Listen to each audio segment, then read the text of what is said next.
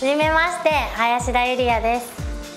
あの今エビスマスカッツというグループにあの一緒にやらせてもらってるんですけどすごい私もやっぱやってみたいってゲームの中で自分がこう出演するっていうのをやってみたいって思って応募しました。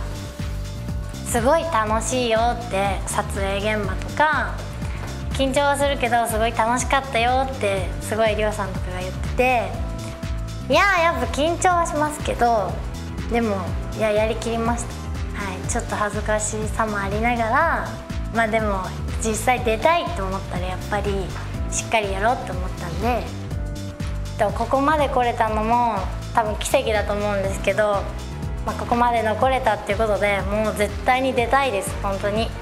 なんで林田ゆりやをよろしくお願いします。